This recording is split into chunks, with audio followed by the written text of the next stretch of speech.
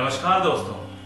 आज मैं फिर हाजिर हूँ एक नए वीडियो के साथ आपके अपने channel Astro Gemini the Cosmic Healer में। आज मैं बात करने वाला हूँ, चेहरे पे कील मुहासों को किस तरह से हटाएँ? और इतना ही नहीं, किसी भी तरह का दाग जो चेहरे में बहुत दिनों से रह गया हो, वो बिल्कुल नहीं जा रहा हो, उन दागों को किस तरह से परमानेंटली हटाएँ?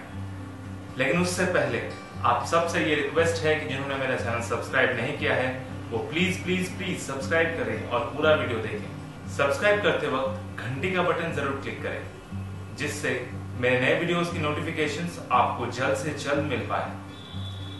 तो आज मैं बात करने वाला हूँ, दाग धब्बों को चेहरे से किस तरह से मिटाएँ? और इतना ही नहीं, साथ में कील मुहासे या चेचक के दागों को आपकी त्वचा से किस तरह से मिटाएँ उसके लिए किन किन सामग्रियों की आवश्यकता है और उन सामग्रियों को किस तरह से उपयोग में लाएँगे, ये देखते हैं। तो चलिए शुरू करते हैं। दोस्तों, आज जो मैं नुस्खा बताने वाला हूँ, इसमें नारियल का तेल और कपूर का उपयोग करेंगे। जी हाँ दोस्तों, उसके लिए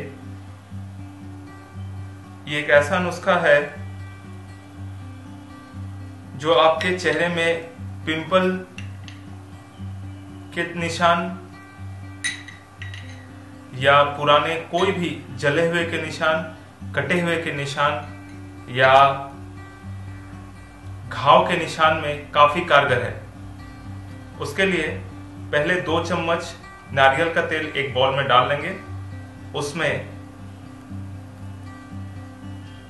चार कपूर के टुकड़े को अच्छी तरह से मैश करके उसमें डालेंगे। जिस तरह से मैं आप डा, मैं डाल रहा हूँ आप भी इस तरह से घर में उपयोग कर सकते हैं। एक चम्मच में दो कपूर और दो चम्मच में चार कपूर का उपयोग कीजिए। चाहे तो थोड़ा सा तेल और डाल सकते हैं।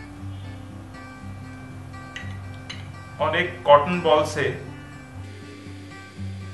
आप इसको अच्छी तरह से मिक्स कर लीजिए और उन जगहों पे लगाएँ जिन जगहों पे आपको काला निशान पड़ गया हो, काला धब्बा पड़ गया हो, या उन स्थानों पे जहाँ पे जल जाने के बाद काला स्पॉट पड़ जाता है,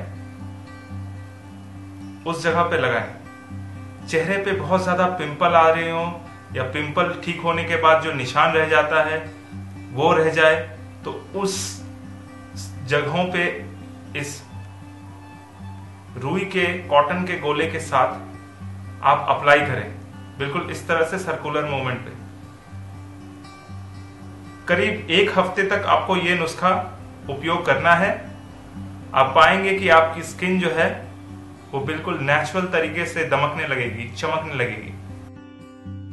जिन लोगों के चेहरे पे अक्सर पिंपल होता है, वो भी ये नुस्खा उपयोग कर सकते हैं।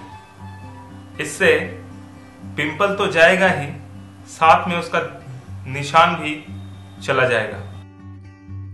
और चेचक के दाग, जी हाँ दोस्तों, जिनको चेचक होता है, चेचक ठीक होने के बाद बहुत गहरे दाग रह जाते हैं। चेचक के दाग पे भी आप ये नुस्खा अप्लाई कर सकते हैं। इससे आप पाएँगे कि आपके चेचक के निशान बिल्कुल ठीक हो जाएँगे।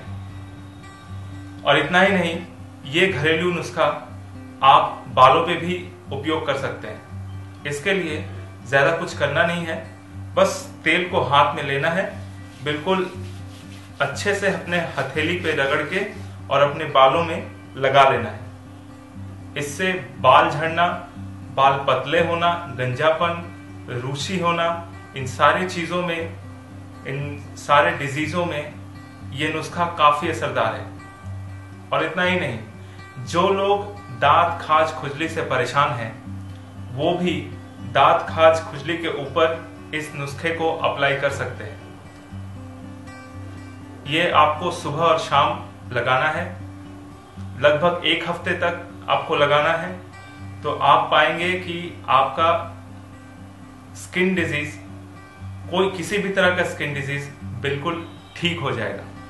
चाहे वो चेहरे से रिलेटेड हो पिंपल हो, झाइयाँ हो, काले निशान हो, या दांत, खाज, खुजली हो, या बालों से रिलेटेड कोई भी समस्या, सब में ये नुस्खा काफ़ी कारगर है दोस्तों। दोस्तों, इस तरह के वीडियो जिसमें हम अपने घर के घरेलू सामग्रियों से अच्छे से अच्छा उपयोग कर पाए या उसका घरेलू उपचार के लिए उपयोग कर पाए, इनके ऊपर मैं अगले और बहुत सारे वीडियोस लाऊँगा। तो आपको ये मेरा वीडियो कैसा लगा, ज़रूर ज़रूर कमेंट करें शेयर करें लाइक करें, ताकि दूसरे भी इसका फ़ायदा उठा सके। धन्यवाद।